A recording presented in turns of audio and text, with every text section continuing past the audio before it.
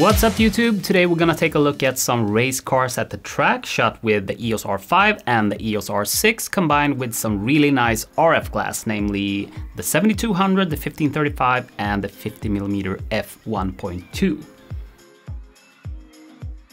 I did a similar assignment like this one in September last year, where we shot both stills and video of the drivers in the Swedish Time Attack series, and this year I'm doing basically the same thing on each event during the season. So May 1st was the first event for, for this season. And this was the first real video assignment where I decided to go with the R5. I've gotten rid of all my Blackmagic gear because it's just simply too much to have four different camera systems to keep track of. Uh, because at one point I had the Canon EF gear, the Canon RF gear, the Blackmagic gear, and the Hasselblad gear at the same time. So I felt it was kind of time to slim things down a bit. And with the R5 and the R6, I finally feel that the video uh, quality is good enough to be able to deliver what I need. This was not the case with my previous DSLR, the 5D Mark IV. Uh, the video quality from that camera just is good enough, but uh, things have definitely changed with the introduction of the R5 and the R6. The big downside right now though is the H.265-422 codec that you get from these cameras. It's basically impossible to work with these files in Premiere on an iMac that's a couple of years old, which is what I'm using right now. So for now, until Apple releases a Pro version of the iMac with a new chip, I'm simply converting all the video material to ProRes or ProRes LT or something before I even start working. And another solution is of course to use an external recorder like the Atomos Ninja 5 so that you can record to ProRes directly. And I'm actually planning to get one of those shortly to make life a bit easier. I also shot some B-roll and photography just for fun with the R6 since I haven't really had the chance to try this camera much yet. And both these cameras are just great for what I do, and that is basically 90% photography and 10% video. And my assignment for this event was to shoot some interviews with the newcomers in this racing series, as well as interviews with the prize winners of each class. So all in all, we did about 30, 32 different interviews during the day, and uh, each interview was about two, three minutes long or so. And then we also shot some portraits of the drivers, so let's take a look at the setup. I lit this with one Aputure 300D Mark II and one Aputure 120D Mark II. And on those lights I used the Aputure Light Dome 2 Mini and the regular sized uh, Light Dome 2.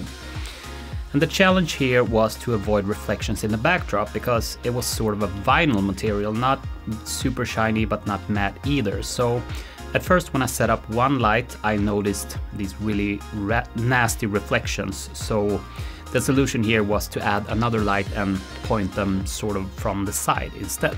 And we shot the videos and the portraits in the same lighting because we knew that the time schedule might be a bit hectic now and then, so there simply was no time to switch between video and uh, a, a, video setup with LED lights and a photo setup with flashes. So this was the best solution with the given prerequisites. And now to address the biggest issue with the R5. Yes, it overheated on me. Which was expected since I shot everything in 4K HQ or 4K Fine I think it's called.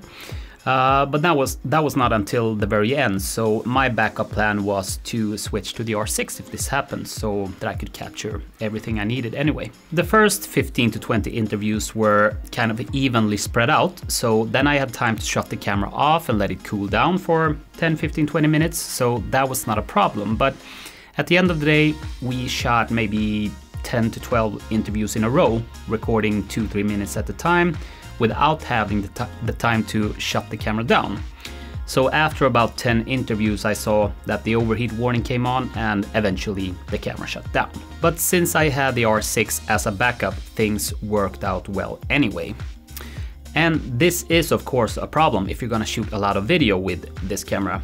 Uh, but like I said before, I do 90% photography and 10% video, roughly and this did not come as a surprise for me. Uh, plus, I had the R6, which delivers perfectly good video quality for my needs anyway. So for me, I think this is a pretty good solution having both photography and video capabilities in the same system. And speaking of video, I borrowed the RF 50mm f1.2 from a friend to try some super duper short depth of field stuff, but uh, shooting video outside in the middle of the day means you probably want to have an ND filter if you're going to shoot at f1.2.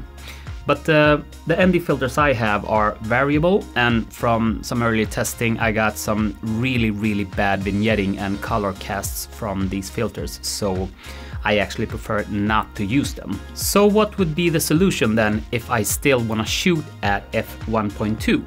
Well, that means a really really short shutter speed, like a thousand of a second.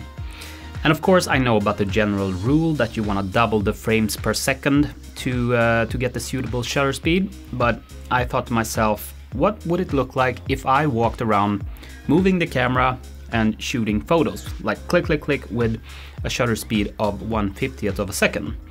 Well, I'll get super blurry photos, right? So why not try to shoot some video with a thousand of a second shutter speed and see how it looks?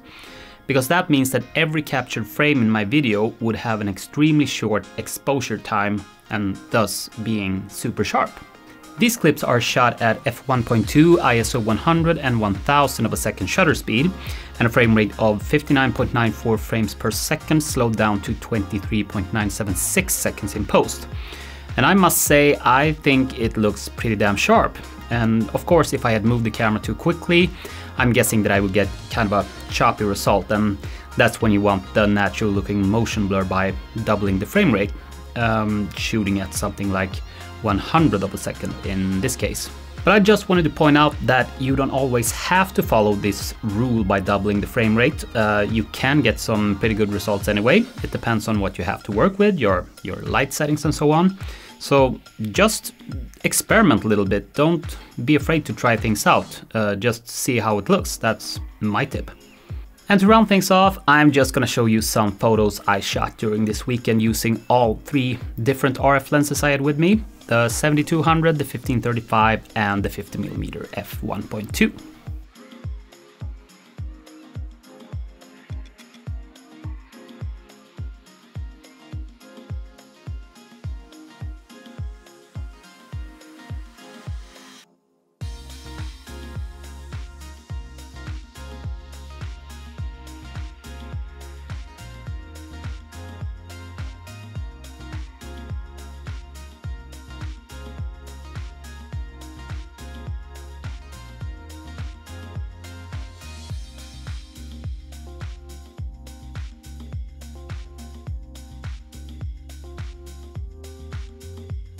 That's it for this video. If you have any questions, feel free to contact me. I hope you found it useful. If you did, you are more than welcome to click those like and subscribe buttons and I'll see you in the next video.